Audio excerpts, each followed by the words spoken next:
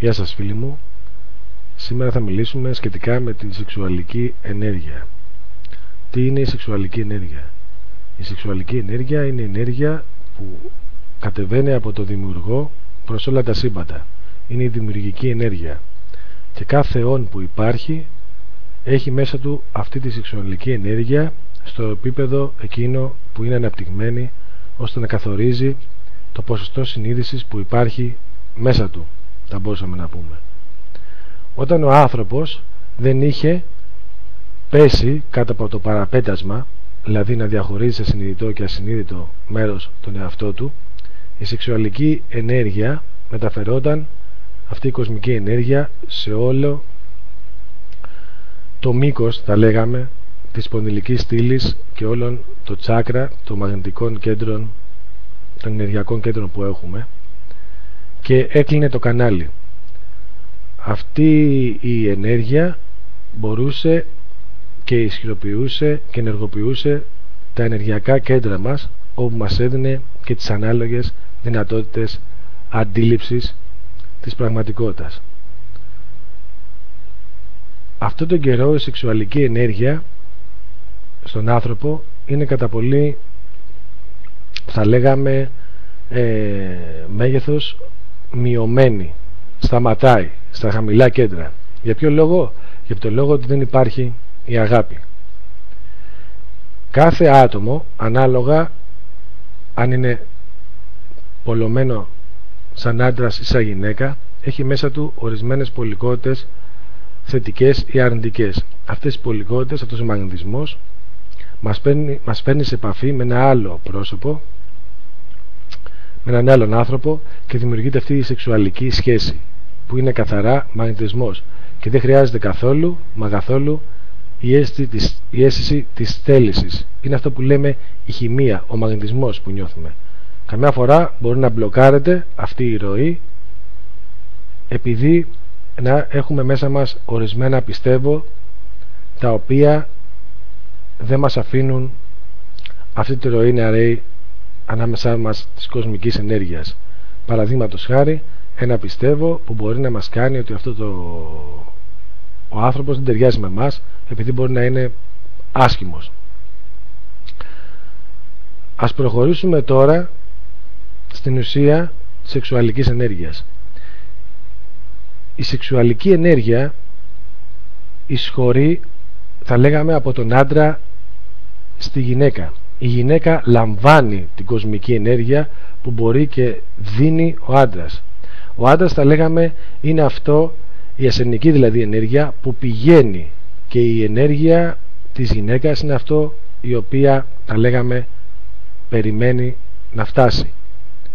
Οι κοσμικές ενέργειες περνάνε από τον άντρα μέσα στη γυναίκα. Η γυναίκα νιώθει την πληρότητα των κοσμικών ενεργειών και ο άντρας νιώθει την έμπνευση μέσω της γυναίκας. Νιώθει την έμπνευση. Αρχίζει πλέον μέσα του και δυναμώνει το πνεύμα. Για να εξηγήσουμε λοιπόν τι λέμε κάθε φορά που δύο πόλοι έρχονται μαζί δημιουργείται ένα κύκλωμα. Και αυτό το κύκλωμα της σεξουαλικής ενέργειας υπάρχει πάμε φίλοι σε όλα τα σύμπαντα. Όταν η ενέργεια η σεξουαλική προσφέρεται στα άτομα μόνο από την κόκκινη ακτίνα θα λέγαμε από το τελευταίο τσάκρα και περνάει μέχρι εκεί τότε καθαρά αυτή η ενέργεια είναι κάτω από το αίσθημα της επιβίωσης κάτω από το αίσθημα του ενστίκτου καθαρά. Οι διάφορες δυσαρμονίες, τα μπλοκαρίσματα που υπάρχουν σε αυτό το επίπεδο ανθρώπων που προβάλλουν την κόκκινη αχτίνα θα λέγαμε δημιουργούνται με ανισορροπίες στο, στα γενετικά τους όργανα. Δηλαδή δεν μπορούν να λειτουργήσουν σωστά. Όταν οι άνθρωποι λειτουργούν κάτω από την ακτίνα της κίτρινης, της πορτοκαλί και κίτρινης ακτίνας δηλαδή, το δύο επομένων τσάκρας επειδή διακατέχονται κάτω από την προσωπικότητα και τον εγωισμό προβάλλουν τη σεξουαλική ενέργεια στο, στον άλλον κάτω από την αίσθηση της κτητικότητας κάτω από την αίσθηση ε, της μη σχέσης καθαρής έκφρασης του άλλου σαν ένα κομμάτι μας. Και αυτό το πράγμα δημιουργεί ανισορροπίες και μπλοκαρίσματα στο ανέβασμα της σεξουαλικής ενέργειας. Αυτά τα μπλοκαρίσματα μπορούν να εκδηλωθούν με μια ακόρευστη θα λέγαμε επιθυμία για σεξ. Ένας άλλος τρόπος που μπορεί να μεταφερθεί η σεξουαλική ενέργεια ακόμα από αυτά τα δύο χαμηλά κέντρα το πορτοκαλί και το κίτρινο αυτής της μορφής είναι παίζει μεταξύ του ζευγαριού η σχέση μαζοχιστικών τάσεων. Ένας δηλαδή να είναι ο αφέντης, τα λέγαμε, ο μάστερ και το άλλο να είναι ένα απλό αντικείμενο. Όμως φίλοι αυτή η ενέργεια είναι καθαρά αρνητικού τύπου αυτή η μεταφορά ενέργειας είναι καθαρά αρνητικού τύπου. Θα φτάσουμε εκεί μάλλον στο δεύτερο μέρος. Χρειαστεί και άλλο ένα βιντεάκι για να σας εξηγήσω. Σεξουαλική ενέργεια και μαγεία. Αρνητική και θετική. Όταν λοιπόν οι άνθρωποι λειτουργούν κάτω από τις ακτίνες της πορτοκαλί και τις κίτρινες δημιουργούν αυτές τις ανισορροπίες που είπαμε. Όταν δύο άνθρωποι λειτουργούν κάτω από το τσάκρα της καρδιάς. Το πράσινη, την πράσινη ακτίνα λοιπόν της συμπαντικής αγάπης της κατανόησης της σχέσης μας ότι ο άλλος έχει επαφή με μας. Όχι μόνο θα κάνουμε σχέση ότι τα πάντα έχουν επαφή με μας. Τη σχέση μας με το σύμπαν. Προσέξτε όχι ανιδιοτελούς αγάπη τη σχέση μας με το σύμπαν.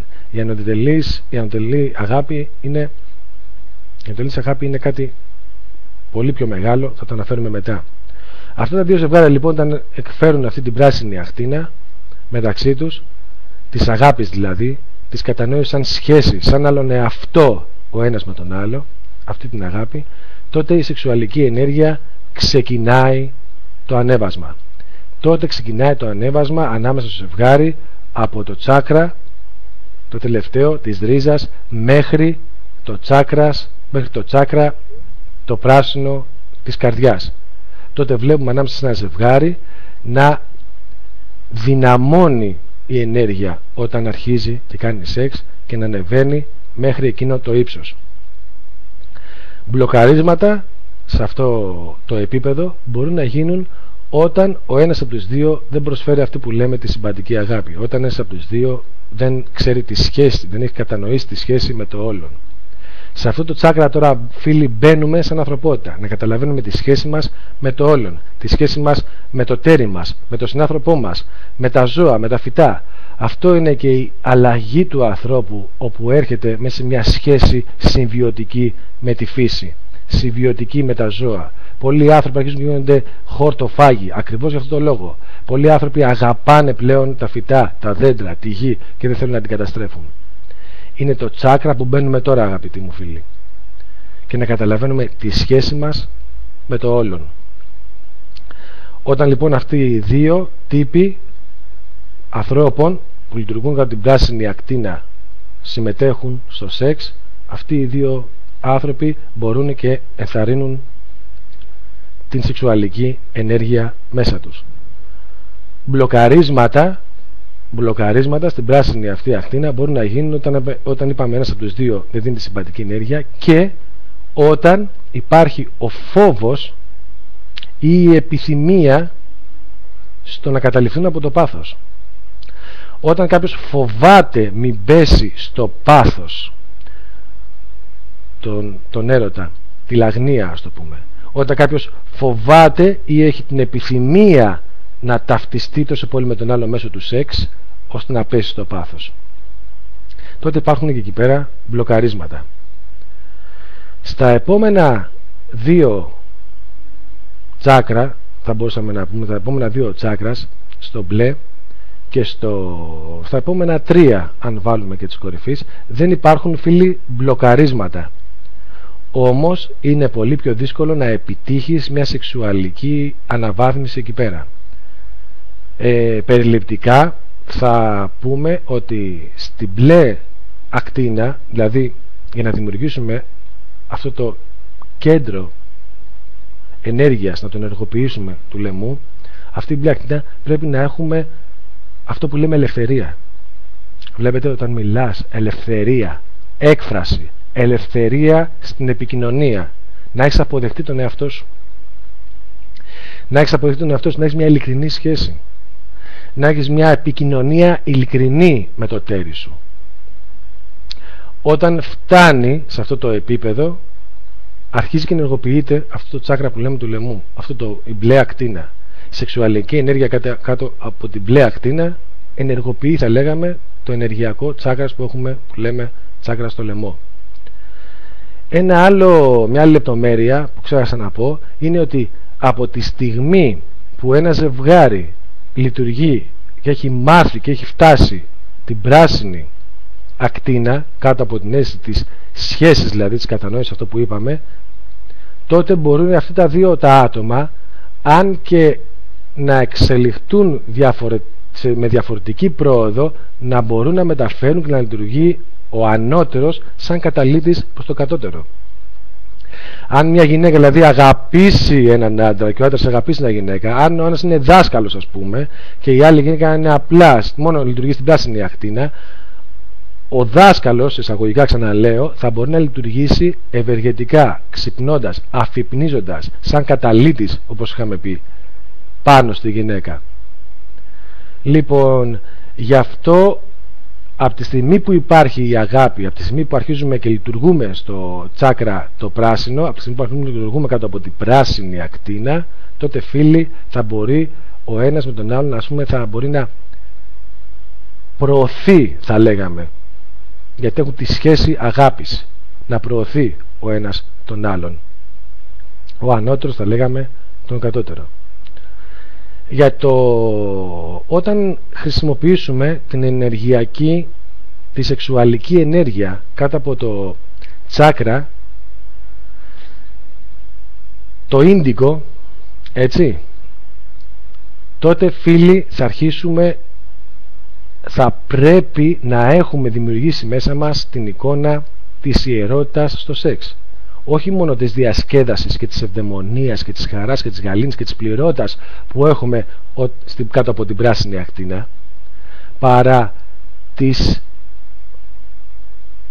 απόλυτης ιερότητας του σεξ φίλοι. Ότι καταλαβαίνουμε το σεξ σαν μια λειτουργία απόλυτα ιερή διαφορετική από την κατάσταση που είχαμε. Πλέον φίλοι σε εκείνο το επίπεδο θα μπορούσαμε να πούμε ότι επιτυχάνεται όταν θέληση και πίστη λειτουργούν το ίδιο. Είναι κάτι σαν να λέγαμε η αρμονία που σας έχω πει με τον ανώτερο εαυτό. Όταν θέληση και πίστη λειτουργούν το ίδιο. Ε, θα φτιάξουμε ένα άλλο βιντεάκι γιατί τελειώνει ο χρόνος όπου θα πούμε τη συνέχεια για όταν φτάσει η σεξουαλική μας ενέργεια στο τσάκρα της κορώνας. Ειρήνη σε όλους.